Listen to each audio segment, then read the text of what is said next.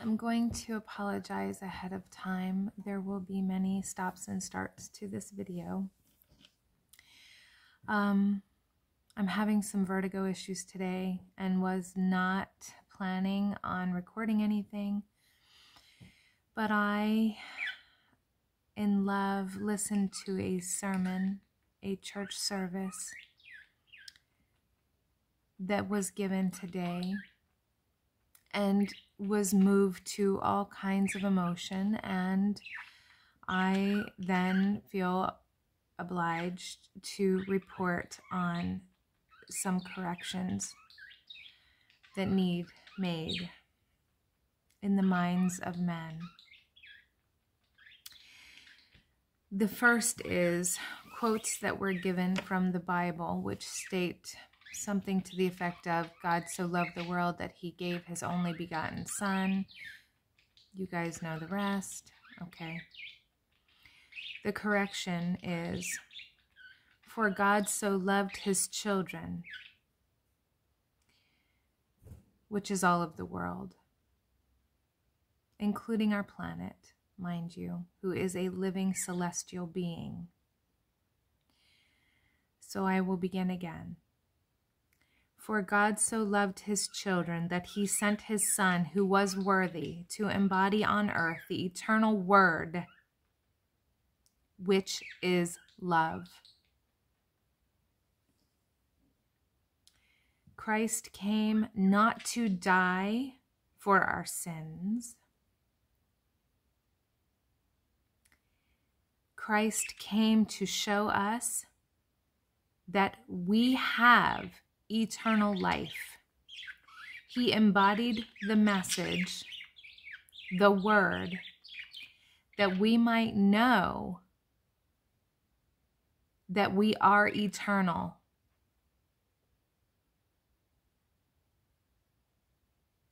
There are many misunderstandings in this. It is not by any act of our own that we are eternal. We are eternal because we were created by our infinite creator as such. The only difference is if we listen to the message of love, we know we are eternal. We know ourselves as perfect as created by God, and then we act it. We do not lose our lives because we don't act loving or think loving. We are eternal. There is no changing that.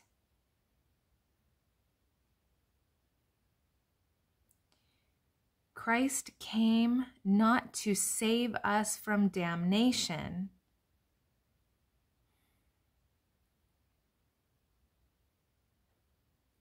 but to help us see that we were already saved. We never left God.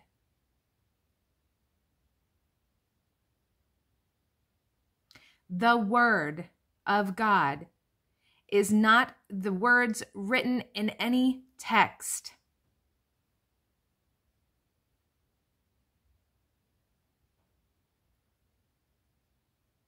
The Word of God is love, and the message that is communicated in the purest transmission of that A Bible is not any better than any other religious spiritual text. They are paper, they are pages with ink on them.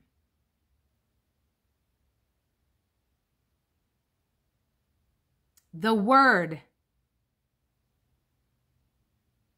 is inside of each and every one of us these religious texts, these inspired writings, can point, can assist in remembrance of who we are as children of God.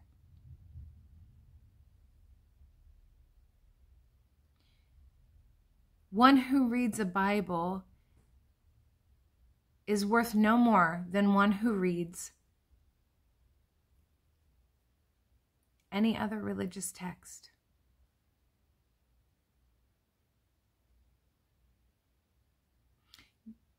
Each of us chooses the texts, the writings, the inspirations which point to us, point to us a direction for us to remember ourselves. The knowledge is already in us because it cannot be destroyed.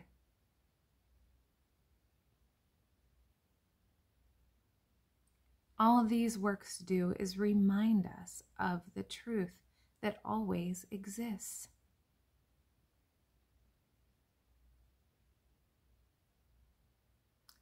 We must be very cautious that we do not set ourselves above or apart from our brothers and sisters who believe other spiritual texts.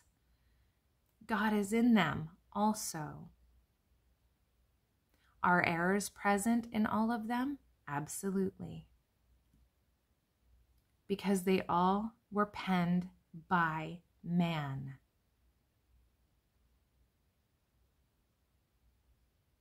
And even even the most pure channel still has human personality. Even Christ even Christ, if you understand his words, he has told us that he had a personality, that he often had to to limit to discern the difference he he had to hearken as strongly as he could to the word which he was which i am which you are the Word.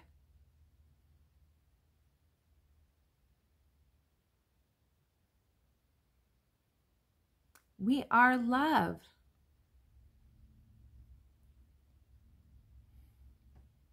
We can be manipulated. We can be fooled.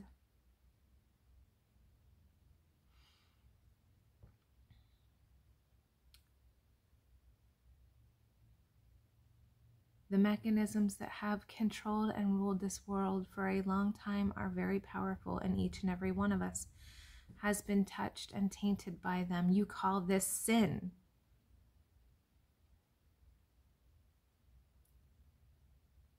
It is time to understand what is really going on here. If there is a sin, that sin is anything that tells you that you are better than or different than anyone else because you are not. If sin truly exists, it is anything that hides the fact that you are love in a body. If sin exists, it is anything that allows you to believe that your way of belief is right and someone else's is wrong. The absolute truth of everything is we are love incarnate in a body each and every one of us. If someone else can find the truth of who and what they are in God in another religious text, they are blessed equally.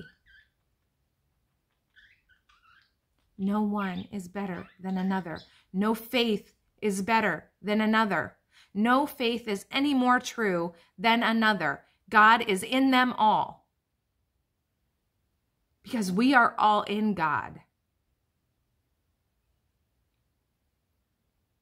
I will have more shortly. I must come back to this part that he sent I'm using a patriarchal term for God, and I am comfortable doing that, and I'm sorry if you're not, but God is balanced, perfectly balanced, feminine and masculine. I am a woman who loves her daddy. So I use the patriarchal term he for God. Okay. If you choose to say God is a she, God will not care.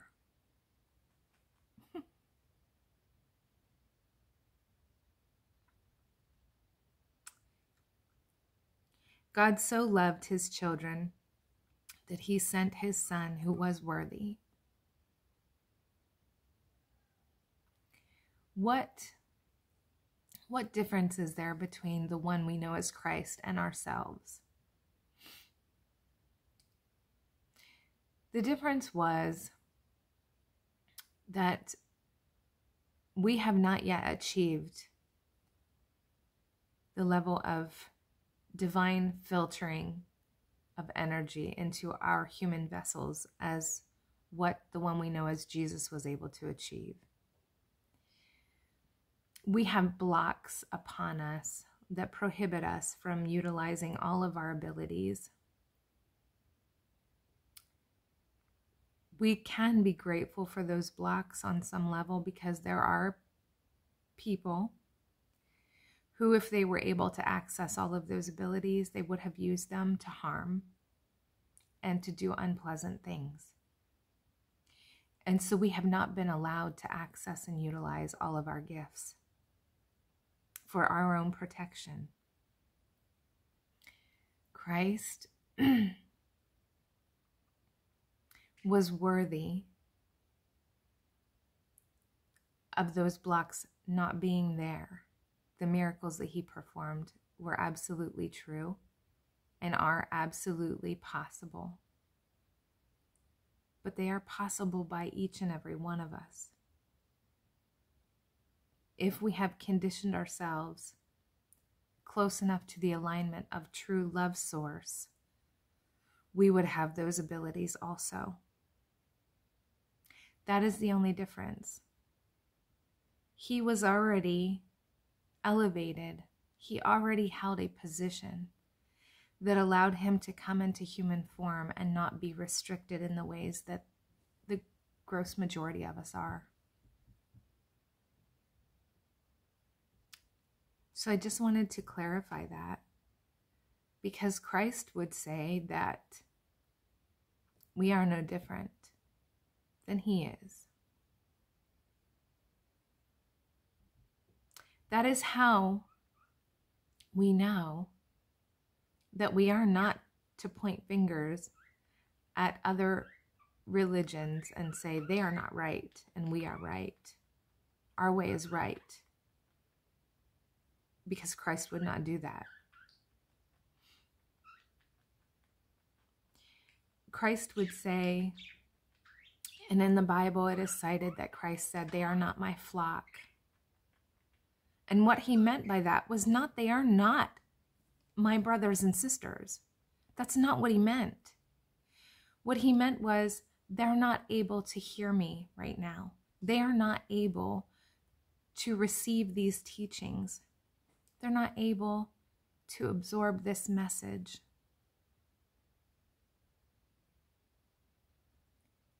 But he loved them just the same. The same. They had no less value than anyone else.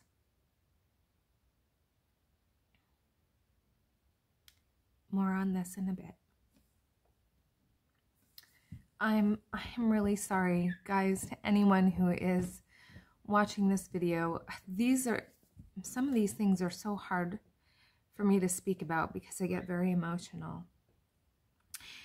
Through Christ, we are saved. There is this concept through Christ, we are saved, and that is true. But it is true because through love, which is the message of Christ, through love, we know we are saved.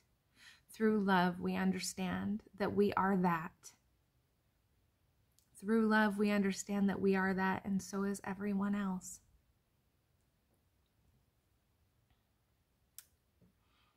Um, I, I may have said this before. I don't think I've been this brutally honest, and I'm going to be. Christ did not need to die to save anyone.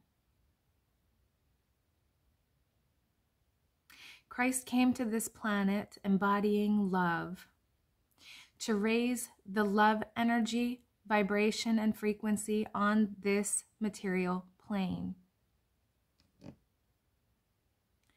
His death, his martyrdom was not necessary. That occurred because we couldn't correct our vision. We were not able to assimilate the message properly enough to change that course of action.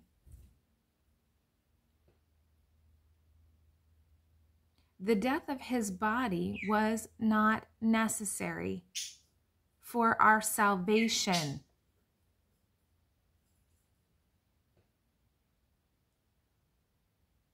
We always had that. That's what he came to teach us.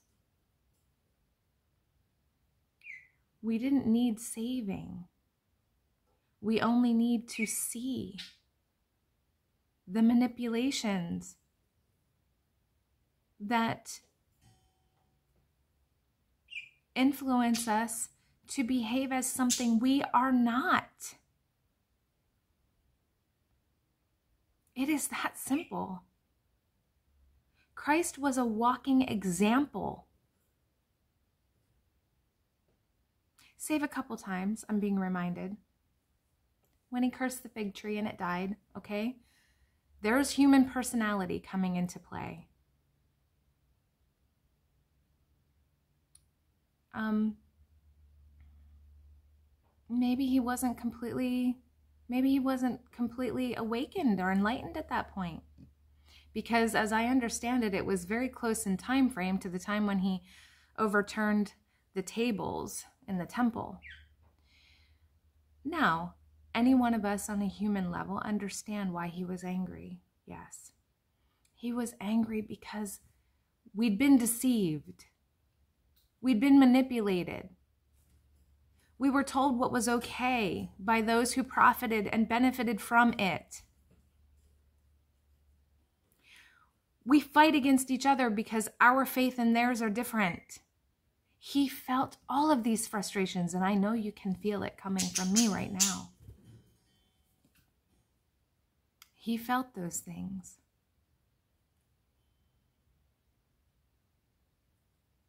Very passionately. And at the time of his crucifixion, he was ready to be done with this experience. He, he was tired of trying to reach us, trying to help us, make us, help us understand what's always been here and we just couldn't see it.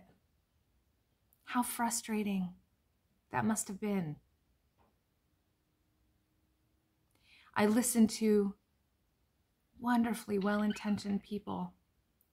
Speak about the Bible, words on a page, and yet, as dedicated and devoted as they are to this script, script,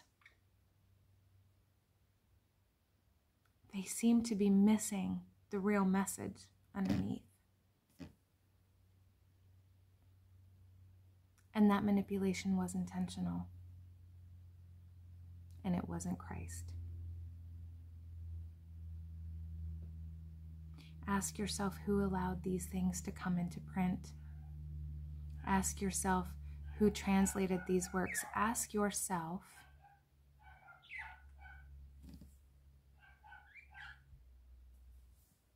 Ask yourself why Christ was really crucified. What is more likely? Is it more likely he was crucified because his blood really needed to cleanse us of our sins? Or because the very message he was teaching was a threat to the powers of that time?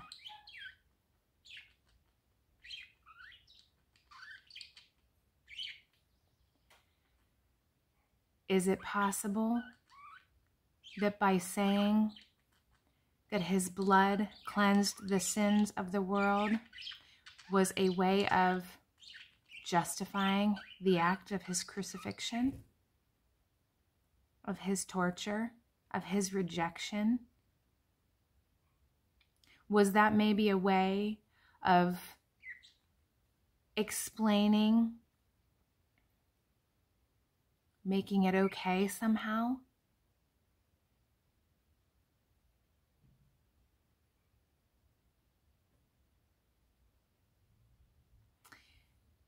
It is time to start asking some serious questions. This transformation is happening. It is time to get on board. It is time to stop justifying acts of malevolence by words that sound good or by consolation prizes. Your consolation is your sins are forgiven because Christ has bled and died for you.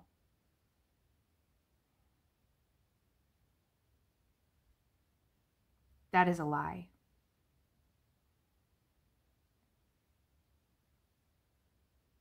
Because Christ came to teach us that we are love. There is no sin in love. The sin does not come from who we are the sin comes from the powers that have been running the show here.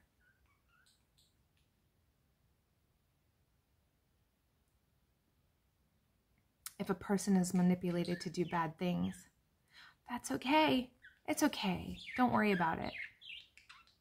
Because someone else has already taken care of your tab.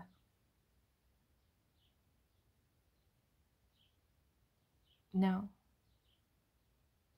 The truth is, we are saved. All of us, even the bad ones, even the bad ones are children of God.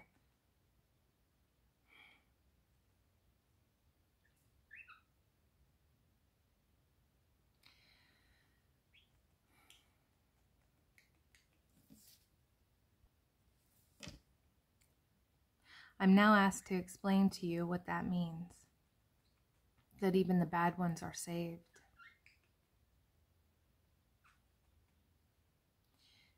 We must start to question the concept of heaven and hell. We must take absolute responsibility and have 100% accountability. What that means is if you know someone is doing harm, if you know someone is harmful. You may need to get rid of them from your life. Not saying to kill them or do them harm. But you may need to put on your adult grown up pants and say, I can't have anything to do with you anymore because you cause me pain and hurt.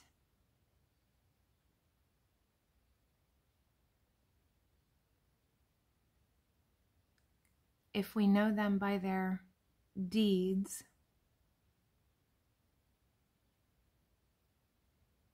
we have to accept that it is okay when something doesn't feel right to say no. I will not do this thing for you. No. It is okay to say no when you are hearkening to your divine spirit love, Christ.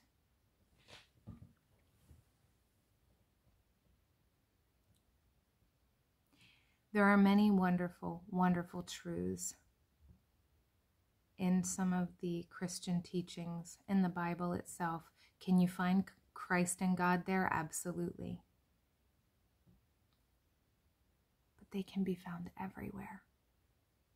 Everywhere can be found here. Here.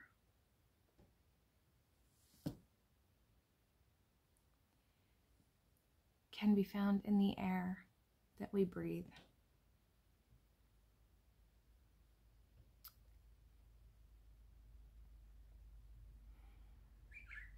Where a person chooses to read where a person is inspired to listen.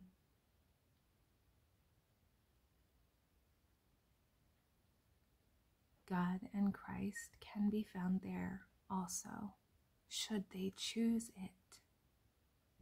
And what I will say is if a person is seeking truth, seeking God, they are seeking Christ, whether they know it or not.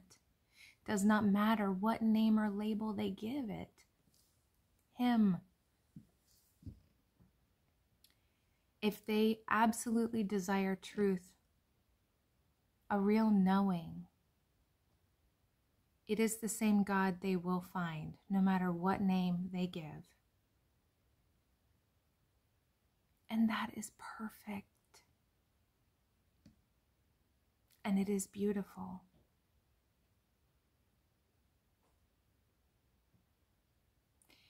Christ taught us that where there was evil, we were to return it with good. Because evil is a perception in the mind. So is good. It's a perception in the mind. Who says what is good and what is evil?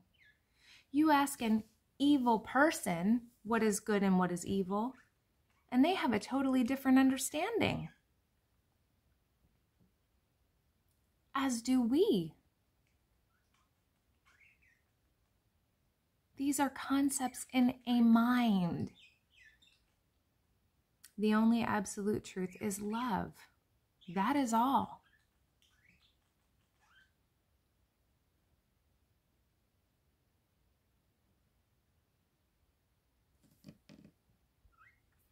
I have been asked to share this. This is John chapter 1 verse 1. In the beginning was the word, and the word was with God, and the word was God. That is true. Word is love. Absolute truth. They say he was in the beginning with God. All things were made through him, and without him nothing was made that was made.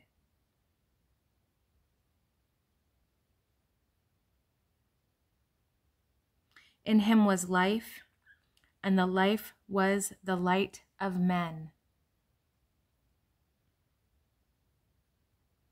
And the light shines in the darkness, and the darkness did not comprehend it. There was a man sent from God whose name was John.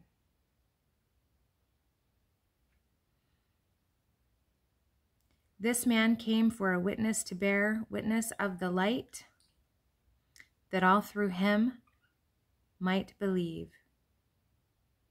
He was not that light, but was sent to bear witness of that light. That, that was the true light which gives light to every man coming into the world. He was in the world, and the world was made through him, and the world did not know him.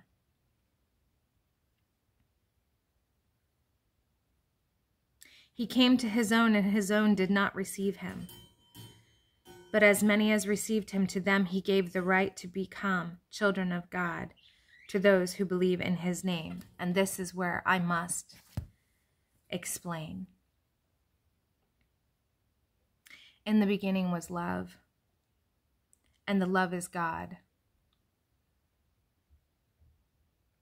Love is the beginning of all things. All things were made by it and through it, and nothing was made that was not from love. In love is life. And life is the light. Love is the light of life. I did a whole talk on how energy affects energy, and how when a man and woman come together and conceive a child, depending on the energetic force that's coming together, how loving, purely loving that force is, does affect the energetic signature of that vessel that that soul is going to inhabit. Okay?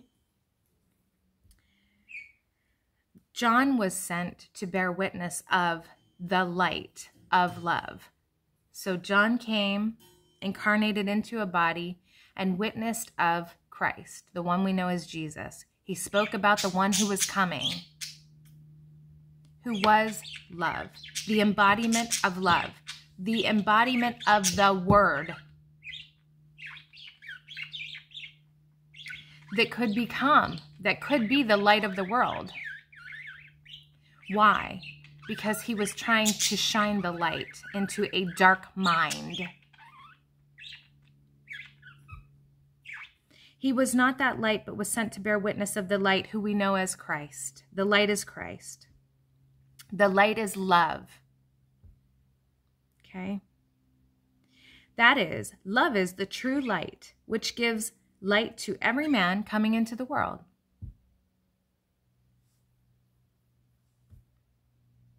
He was in the world, and the world was made through him, and the world did not know him.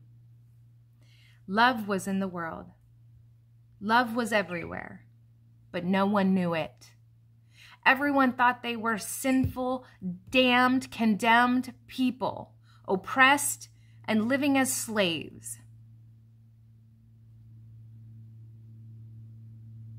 Because they had forgotten their source. They had forgotten from whence they came love.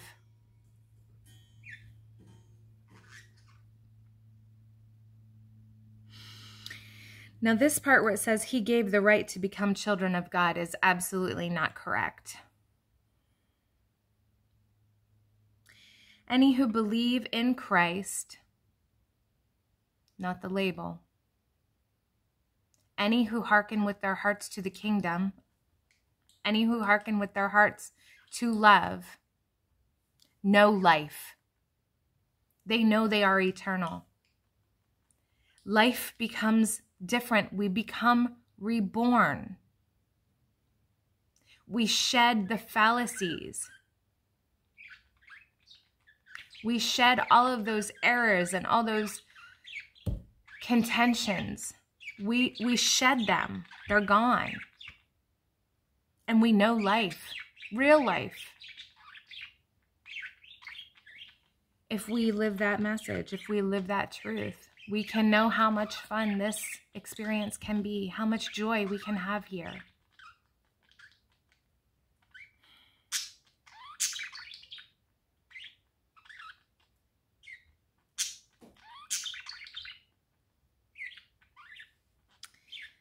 He gave the right to become children of God to those who believe in his name.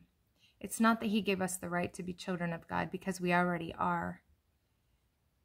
But by his message, we would be aware that we are. We would remember that we are. And he brought that potential here.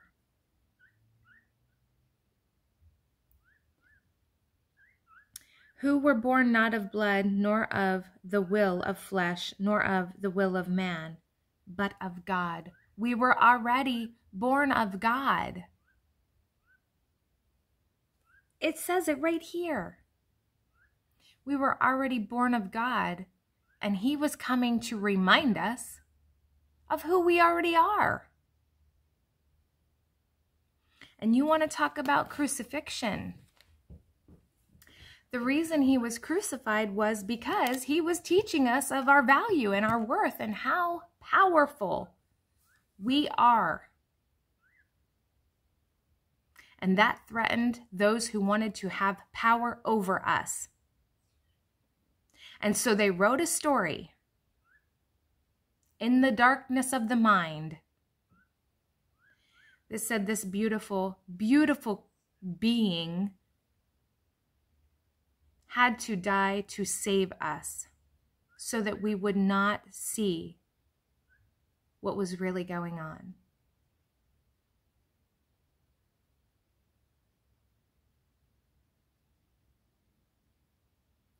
These darknesses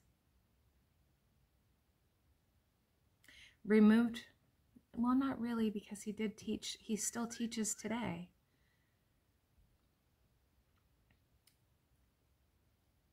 but the power that he had when he walked this earth the influence that he was giving the influence he had over the people who came in contact with him was incredible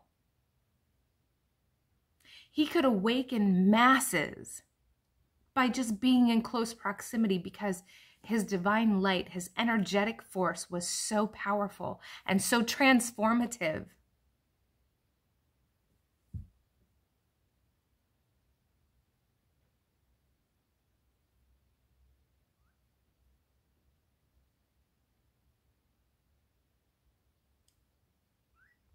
And because his love was so great, he allowed us to continue in the darkness of our minds by allowing his body to be crucified publicly.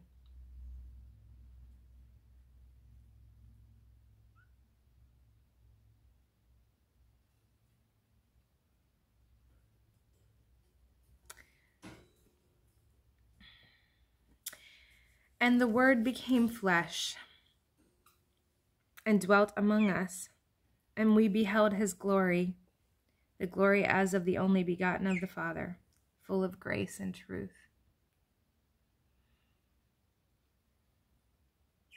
We are all the begotten of the Father. What is the difference? The difference is how well you remember it and how well you live it.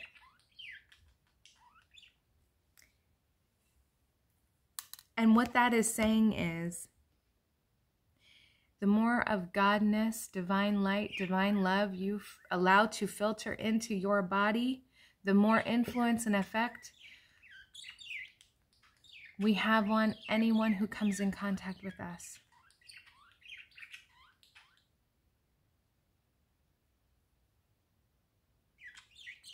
They may have been better off to make us all wear sunglasses rather than masks. But they fear the word.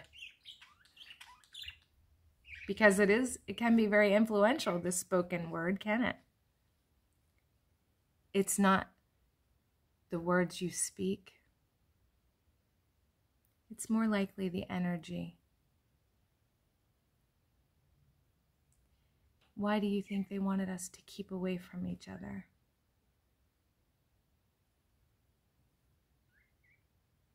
because those of us that know the story, who are not afraid, just might wake the rest of them up.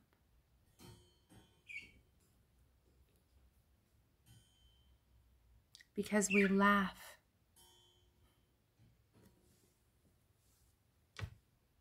We laugh at it because we can see we see the game.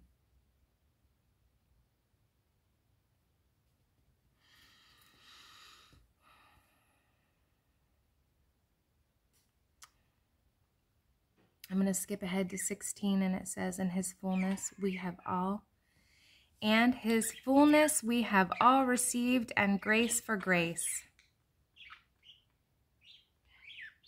The law was given through Moses the law of the world. But grace and truth came through Jesus Christ. The message of absolute truth, the embodiment of truth and love, was the one we know as Christ, is the one we know as Christ. Because Christ is alive. The Word was with God, and the Word was God in the beginning, before anything else was. And so each and every one of us contain the Word. That love, that same love that Christ embodied, is inside each and every one of us. May we remember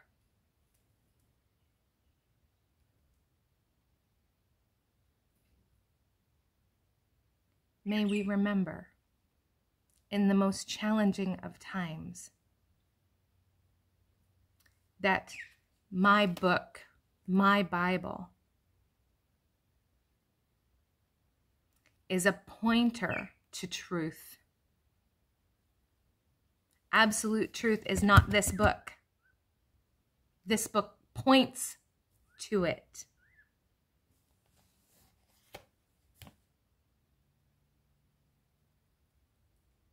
I can read through this book and give you slightly different interpretations every time I read it because the energy of the world continues to shift. The energy of the world continues to shift, and therefore the message of God, the message of Christ, changes based on the need of the energies in the world.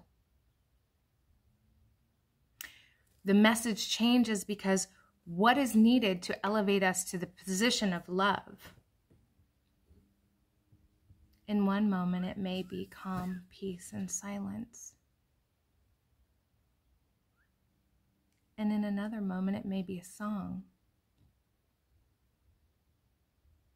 In yet another moment, it may be touch.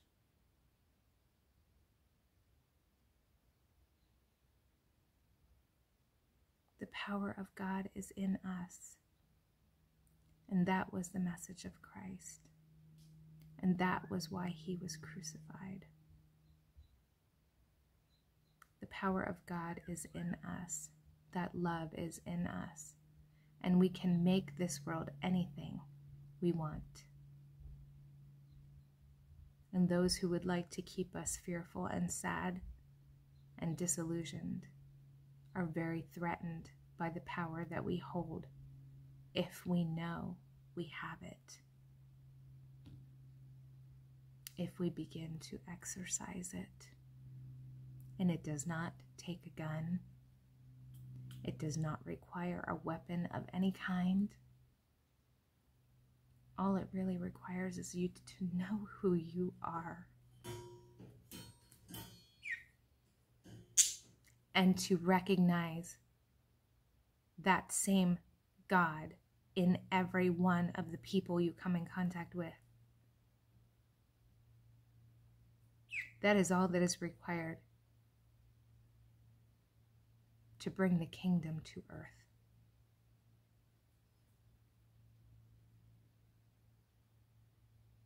Because it's already here inside of each and every one of us. We just have to actualize it.